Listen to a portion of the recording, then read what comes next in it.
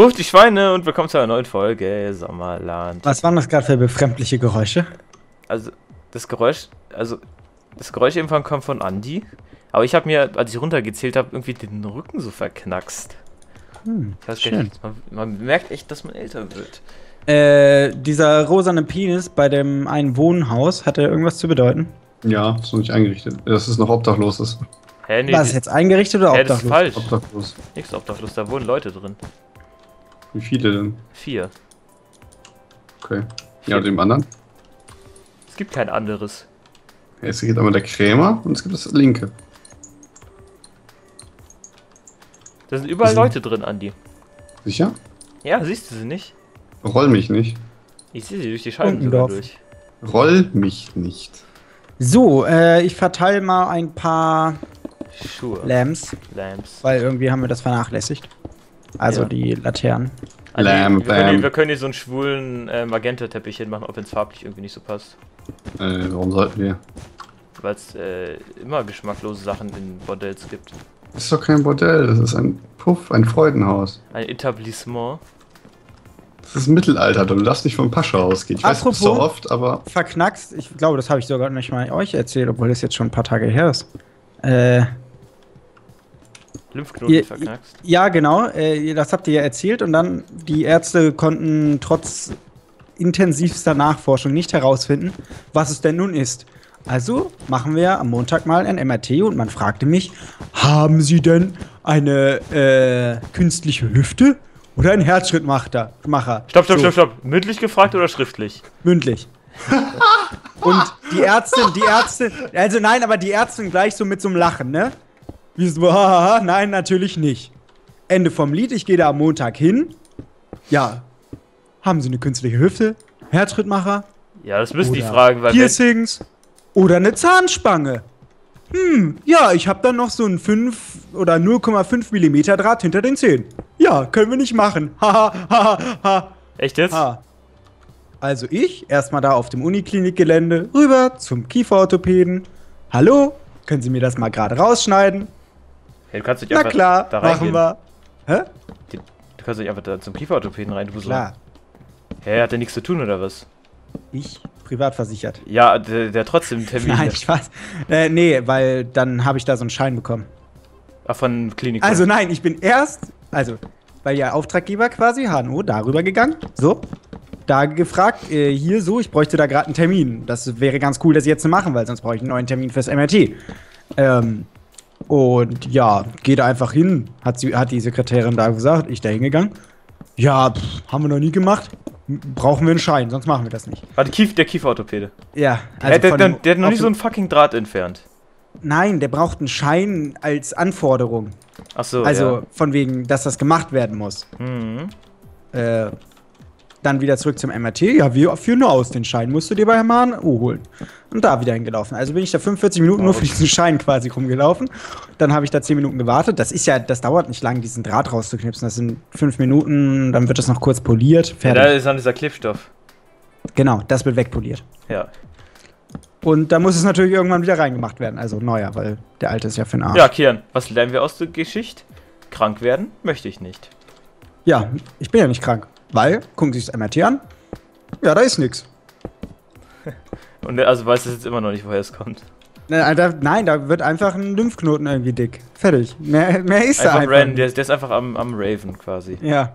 Nein, das war ja dann die Vermutung, ob da noch irgendwie so eine Zyste ist, sowas, was sich füllen kann und wieder entleert oder so, was dann sich irgendwie mal entzündet. So, ich habe jetzt noch ein paar Lampen verteilt. Aber ist nichts. Also muss ich wohl damit leben, dass das einmal im Jahr passiert. Ja, man sieht eigentlich seine auch. Tage, dann wird er ganz rannig. nee, der wird ja ganz dick. Obenrum. Bild er an.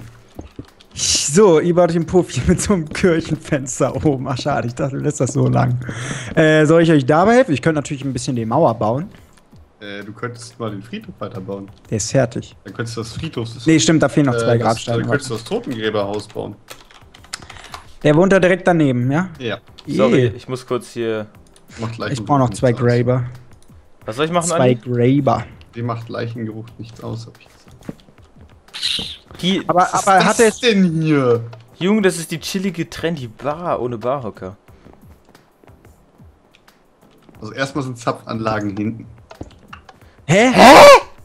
Bist du Ey, behindert? Zapfanlagen sind immer hinten. Die können auch vorne sein, Dude. Hä, Andi, das, das ist ja jetzt mal der totale Bullshit, jetzt mal ohne Spaß. Und Bei welcher Bar sind Zapfanlagen? Die, hinten? die schauen dich. aber das sieht so Bei komisch welcher aus. Bar? Ah, guck mal, und sind hier- Zapfanlagen. Bei welcher? Bei welcher?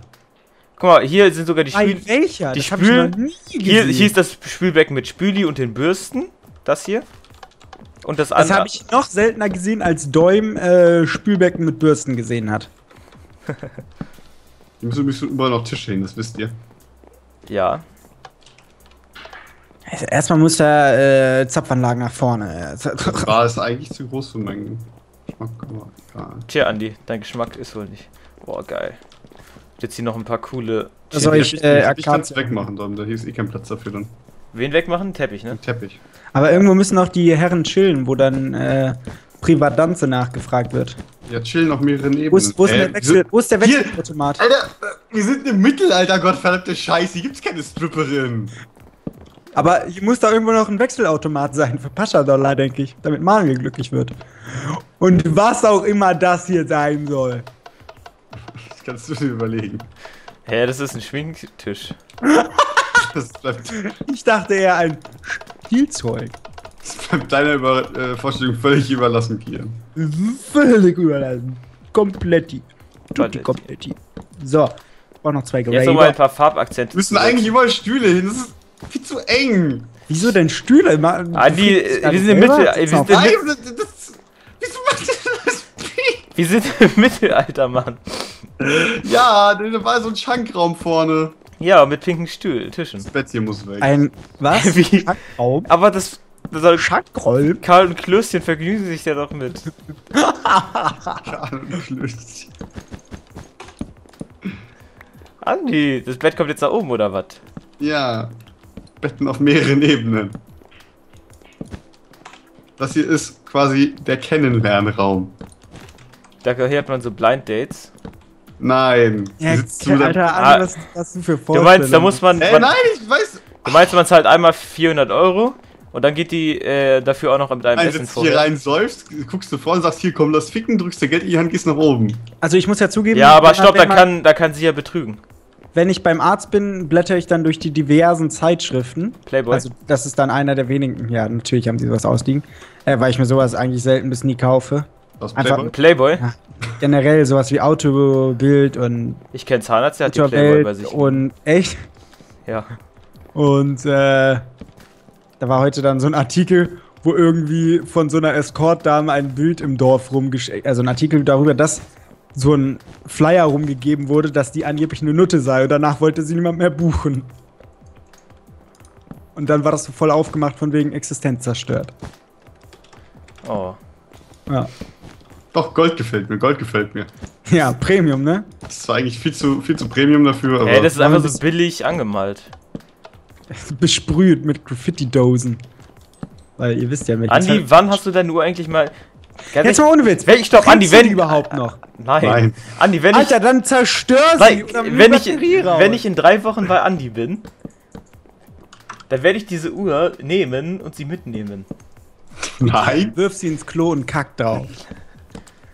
Äh, ja, okay, genau. Ja, dann wäre sie wenigstens destroy. Nee, ist wasserdicht, ne? Das ist eine Ja. Baby-Gie. Baby Aber, aber. Das ist keine Baby-G, du Lappen. Dann eine G-Shock, eine G-Shock. sicher nicht mehr benutzen. Aber eine G-Shock ist es. Äh, wieso? Ich wasche einmal ab und fertig. Was ist das Problem? Boah! Andi, das geht doch Andi, sowas riechst du immer noch. Das ist so, Nein, Und selbst, selbst wenn du theoretisch nichts riechst, du riechst es trotzdem. Einfach, Weil du denkst, dass du es riechst, weil du riechst Nein. und könntest. genau. Was für Probleme? So, hier. Ach ja, ich habe letztens noch äh, einen Kommentar gelesen, warum eigentlich unsere Stadtwache so braun wäre. Hat die Stadt kein Geld? Militärgebäude. Frage. Muss Mach ein bisschen mehr rot dran. Ja, ganz oder gar nicht? Ein bisschen mehr. Warum ganz oder gar nicht? keine Haverhocker. Vor allem, der Witz ist, vorne hat sie fast kaum braun und dann irgendwie nur seitlich. Jo, zick mal, ist mir top machen. Hat sich gerade gar keiner beschwert, dass ich getrunken habe. Das hat sich eher einem Furz angehört. Ich hab's gar nicht gehört. Aber deine Fürze kommen doch nur aus deinem Hirn, Andi. Hä, die Stadtwache ist doch schick. Ah, nee, das ist gar nicht die Stadtwache. Doch, hä, die Stadtwache ist doch schick. Ja, vorne jetzt relativ. Aber hinten ist sie ganz schön voll gejizzt. Ja, hinten. Hinter, in der Gasse dahinter werden natürlich ab und zu auch mal Verbrecher von der Stadtwache zusammengeschlagen. Ja, aber da, da, daher kommt doch der ganze rote Farbstoff. So, ihr könnt jetzt erraten, was ich überhaupt trinke. Ah, warte. Du trinkst eine Capri-Sonne. Stopp, stopp, stopp. Eine Fritz-Cola. Nein. Du, ist es ein äh, koffeinhaltiges Getränk? Nein. Ist es ein Softdrink? Nein. Ist es Wasser? Nein. Hat es, äh, ein Frucht, Wasser? hat es einen fruchtigen Geschmack? Ja. Ähm, ist das Fritz Limo? nein, Ich das, sag, das das ist kein Soft. kein Softdrink. Fritz Ilmo. Äh, Totengräber direkt daneben? Ja, Moment, ja. Mit kurzem Gehweg dazwischen oder nicht? ohne. Äh, kurzer Gehweg dazwischen. Nee, Äh, ich würde sagen, Kann man das, kann man das, Das ist Getränk im Supermarkt kaufen? Ja. Äh, es ist kein Softdrink, es hat keinen Alkohol. Nein. Ja, aber was ist es dann? Es ist, ist, es, ist, es, Ist ist, es, Grapefruit Stopp. alkoholfrei. Stopp, stopp, also es hat einen fruchtigen Geschmack, also es ist ein Fruchtsaft. Ja. Orangensaft. Ja. Irgendwie hast du dich gerade ziemlich verbohrt gehabt. Auf? Ja, weiß ich nicht, weil dann Hilfe soll es dann sein. Deshalb. Ich Das ist kaufe viel zu hell hier drin, Alter. ich kauf mir nie Orangensaft. Äh, hat der. Ich weiß, wie soll ich den bauen? Der muss ja dann hier so ziemlich in diese Ecke Warum hängen denn jetzt hier so Würste von der das sind Decke? rote Stoffbahnen. Würste. Hallo, könnt ihr mir mal kurz sagen, wie und wo ich den jetzt hinstellen soll? Das sind keine Würste, das sind rote Stoffbahnen. Alter, Andi, sieht aus wie. Keine Sieht Ahnung. gut aus. Nee. Das ist einfach too huge.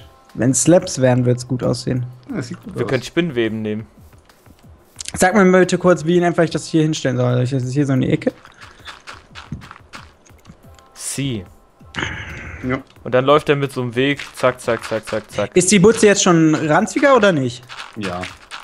Also ein bisschen. Ja, was sind denn alles Details von ranzig bei uns? Also die, die sind, sie ist noch normal, aber sie ist ärmlich, also wenig rot. Ich dachte vielleicht auch schon anderes Dach.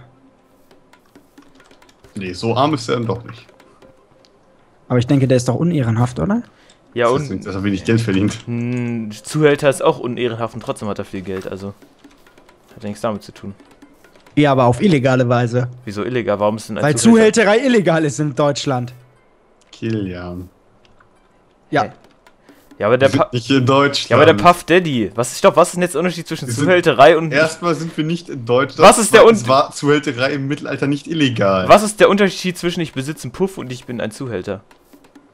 Äh, Irgendwo müssen Der die. besitzt Zu- Zuhälter sagt, du Zuhälterei steht darunter, dass, dass, dass der die quasi dazu zwingt, das zu machen. Nee, nee, nee. Doch. Zuhälter- Oder doch. dass er die aus Rumänien importiert. Nein, Zuhälter ist quasi einfach, das hat nichts mit Zwingen zu tun.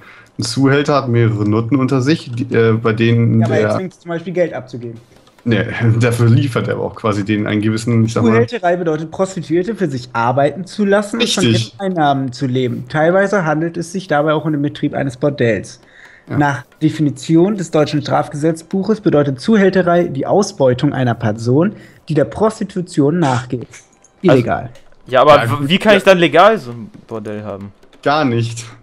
Also, du kannst natürlich vereinbaren, dass sie eine damit bezahlen, ne? Aber die können als freie Mitarbeiterinnen da doch Ja, arbeiten. eben. die müssen Ja, als- irgendwie sowas wahrscheinlich. Als, du darfst sie, glaube ich, nicht als Prostituierte. Ja, stimmt, wie wir sonst. Also, Mann, die Lieblingsetablissement, ne? Wie machen die das sonst? In Pascha. Keine Ahnung, das interessiert mich eigentlich auch nicht. Warum Echt, nicht? weil ich, ich gehe lieber in den gehobenen Rock. äh, Also, natürlich finde ich es besser, wenn das irgendwie legal abläuft, aber Im Grunde genommen ist es mir scheißegal. Nicht als Customer. hä, was ist denn da los? Hä? Warum hatten der auf einmal so Winkel? Ach, das ist immer, wenn er connected. Was connected? Ich aber auch nur in, on the edge. Ja, wenn er on the edge ist. Guck mal, wenn, dann, dann, wenn du dann weitermachst, guck mal, dann wird der nochmal anders. Wie? Was macht ihr gerade? Ja, guck doch mal. LOL?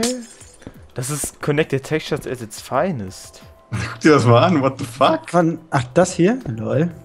What the, what the fuck, Junge, what the Aber das fuck. ist ja nicht korrekt, oder? Und das backt jetzt, wenn du jetzt wieder um die Ecke gehst. Jetzt backt es. Es packt. Wie, was heißt denn nicht korrekt? Das ist halt so. Ja, aber das Die dann diese generiert sich ja nicht von alleine. Schon komisch. Komisch. So, hier oben kann Andi jetzt nochmal sein Bettchen aufbauen. Weil die muss dann ja so eine Art Flur hin. Äh. Ey, wieso Flur? Hä, wie? Du, du willst, es- willst es open-minded haben, oder was? Du machst immer zwei ab mit roten Stoffbahnen abgehängte Räume, fertig. Mit Stoffbahnen. Tunnel liegt auf Stoff und Bahnen. Und auf Stoff. Aber auch ein bisschen auf Bahn. Ja. Damit du nicht aus der Bahn geworfen wirst. Hat man die ganze Halbzeit mit frisch. Cool. Cool. Tut mir leid. Tut mir leid. Oh, irgendwie blicke ich an deinen Stoffbahn nicht so entlang. Der Kevin hat sich, glaube ich, Mentos eingeworfen, hatte gehofft, dass er im Finale noch rankommt und dann war nix. Traurig, aber wahr. Aber dafür war er in der Dafür hat er eine. Medaille bekommen, ne? eine Medaille bekommen. Ist doch schon mal was. Die haben den Pokal ja kaputt gemacht ein bisschen. Echt? Wie? Ja, bei einem, der ist runtergefallen oder so. Vom LKW oder direkt da noch? Da noch. Lol. Na. Ja, aber das ist sowieso eine Kopie. Ja, Ja, aber das ist schon das, was der DFB behält. Ja, aber das ist trotzdem nicht echt. Also das Ja, also echte. das echte Ding steht irgendwie in Zürich oder Ja, so. das ne? wird nur kurz rausgeholt, damit es da rumsteht und dann wird es wieder eingeschlossen in Zürich. Wo Zürich. gezeigt. Ja, das steht. Warum eigentlich, warum eigentlich in Zürich? Das wird, das steht quasi beim, beim was hat Endspiel. denn- Das das ist hat in Zürich mit Fußball zu tun. Schließfächer, Andi. Nee, oder Bern? Nee, nein, ich denke mal, da ist da nicht der Äh, FIFA. und FIFA hat, hat doch einen Sitz in der Schweiz. ja, Headquarters. Und warum dann nicht in Zürich? So, hier sind Stoffbahnen und jetzt muss auf dem Boden noch so ein Teppich. Andi, ich möchte irgendwo meinen magentafarbenen Teppich hin haben. Nein. Okay, dann Wir braun. sind, wir sind braun. Ja, warum nicht magenta? Warum braun? Ist es nicht auch ein Zeichen von Ärmlichkeit, wenn man keine Holzbalken da drin hat? Äh, nein, das ist ein. Das ist halt Ein- in, das ist ein- von Instabilität. von ja, deswegen kann das sich nicht leisten. Nee, das kann er sich ja leisten, mein Gott. Und hier ist ein kleines WC. Kann die, die sich die Zähne putzen. Hast So. du gerade wirklich gesagt, da können sie sich die Zähne putzen. Guck mal, hier ist es mit, geht man am St- an die Stoffbahn vorbei. Und hier ist das kleine WC. Ah, Du im Haut auch immer wieder raus, ey. können sich frisch machen. So, ich mache hier ein schönes WC hin. Zack. Sogar mit Ausblick. Das ist doch schön. Ein WC mit Ausblick. Also muss natürlich von außen genau sein. Toll, Alter. You are making me ready. Zack.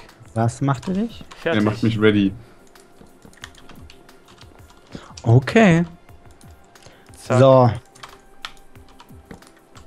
Slap. Ich würde sagen, da sind wir jetzt auch schon wieder am Ende der Folge angekommen. Wow. Boah, ich bin echt stolz auf mein geiles WC. Mach Und da- dich richtig ready. Und da bleibt uns noch zu sagen, da kommt gleich noch eine Tür rein oder lasst es bleiben. Bis zum nächsten Mal.